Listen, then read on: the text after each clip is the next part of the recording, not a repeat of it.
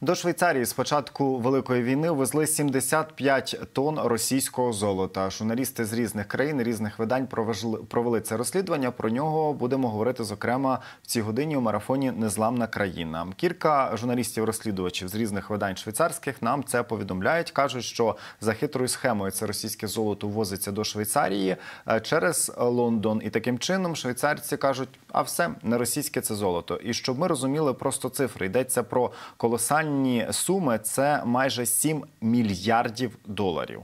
Про це ми далі поговоримо. Експертка з економічних питань, народна депутатка восьмого скликання Тетяна Острікова з нами на зв'язку. Пані Тетяно, вітаю вас. Доброго дня. Для початку скажіть, будь ласка, якщо Росія розпродає золото, то це означає, що у них все погано зараз, що для нас добре, чи все таки в них все добре? На жаль.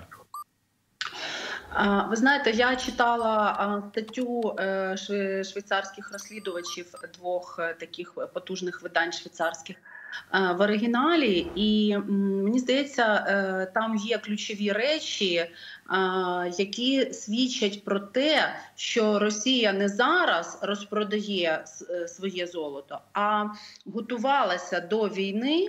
Е, і е, з 2018 року почала постачати в Великобританію величезні обсяги золота. І про це свідчать і дані розслідувачів, і дані Міністерства зовнішньої торгівлі Великої Британії. А саме до 2018 року Росія в Великобританію постачала невеликі обсяги золота.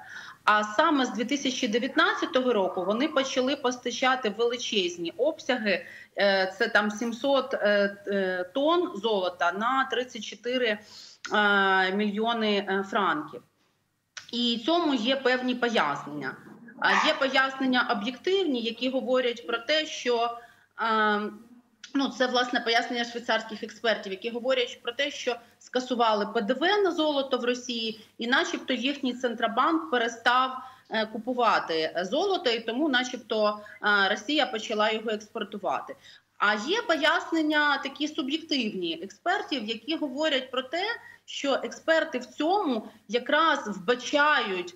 Е, ознаки підготовки Росії до повномасштабного вторгнення, тобто вони почали пересувати Е, обсяги свого золота в Великобританію. І тепер, коли їм треба, вони е, з Великобританії це це золото переводять на швейцарські афінажні заводи. А, і, начебто, ну вони розуміли, що будуть санкції, і, начебто, тепер Швейцарія і швейцарська митниця стверджують, що ну це ж золото не має ознак російського походження. За рахунок цього золота не фінансується війна, тому що воно було переміщене Великобританію. Е, до лютого 22 року. І от в цьому якраз і полягає величезний цинізм ситуації. Тому що давайте поглянемо на е, Швейцарію більш комплексно, не тільки в розрізі е, оцих афінажних заводів по обробці золота, а і взагалі в, в ракурсі, як Швейцарія допомагає Україні. Ми бачимо, що це країна, яка не входить ані в ЄС, ані в НАТО, і відповідно вона може не зважати на певні їх е, е, там санкційні пакети і може блокувати певні їх рішення. І от е, одне з останніх рішень ми бачимо, що було заблоковано реекспорт близько 100 танків, які Німеччина просила власне в Швейцарії дозвіл, щоб їх поставити Україні. І тут швейцарці дивіться, яку позицію займають. Вони говорять: ми нейтральна країна.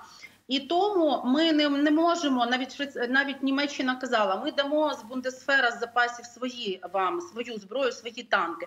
А ви свої віддайте нам. І Швейцарія дуже жорстко послалася на свій закон про нейтралітет і сказала, що ну ні, ні, це ж е, значить все одно е, ваша зброя піде в воюючу країну.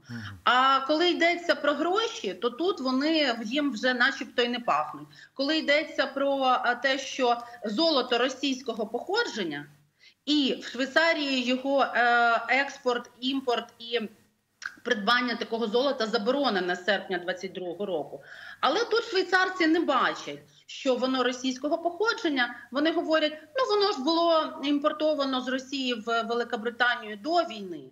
Тобто, в одних випадках, коли а, їм вигідно, вони посилаються на закон про нейтралітет.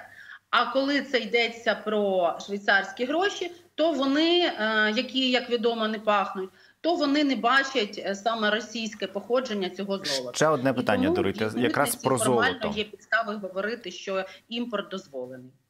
Про золото. Чи правильно я розумію, що триматися на плаву відносно Росії зараз якраз е, допомагають ці е, запаси золота, яке вони накопичили, і вони продовжують накопичувати, тому що CNN провело розслідування і каже про те, що Росія е, налаштувала е, ще одну хитромудру схему, як з Африки по суті красти або е, даруйте за такий е, сленг віджимати золото. Цього разу в Судані. Ми знаємо, що є вагнерівці, які роблять заколоти в тій чи іншій країні, і таким чином забезпечують Кремль золотом. Це і є секрет успіху їхній російський. А, ну, Росія безумовно готувалася до війни і розуміла, що будуть санкції, і переносить свої активи в такі країни, які ну як Швейцарія, які такі до санкцій, знаєте, дуже лояльні, коли йдеться про швейцарську банківську систему, коли йдеться про прибуток їхніх афінажних заводів. І ми знаємо, що е, чим е, відомі афінажні заводи, вони саме швейцарські, вони не просто обробляють і очищують золото, а і вони ставлять на ці золоті злитки або монети, або бари. Вони ставлять своє швейцарське клеймо. І далі е, це золото може йти е, в торговий обіг, в тому числі як інвестиційна монета, як засіб платежу, вже під швейцарським, так би мовити, брендом, під швейцарським прапором. Це перша небезпека. Друга небезпека, що в такий спосіб е, е, ці афінажні заводи вони відомі тим, що там зберігаються це надійний спосіб, надійне місце зберігання золотовалютних резервів. І тому безумовно Росія дивиться, які союзники є, е, ну скажімо, союзники, можливо, навіть не визнані або не прямі, як Швейцарія, але які не надають такої належної підтримки України. Е, І, і так само це стосується і країн Африки, які ви згадали, там, де є е, сіра зона. е, Де е, не, діють міжнародні інституції, де не діють е, е, елементи е, е, архітектури світового порядку безпеки, і от Росія так і буде в Австрії, буде в Африці, буде в Швейцарії зберігати і обходити.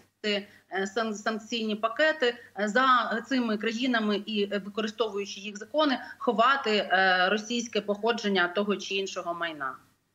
Тобто ми зараз маємо ретельно перевіряти, де Росія бере золото і власне кому вона його продає. Ми зараз показуємо кадр з Африки, власне, тих бойовиків, які по суті забезпечують цей потік золота у, у Кремль, у Москву. Це, мабуть, один із найважливіших потоків для Росії.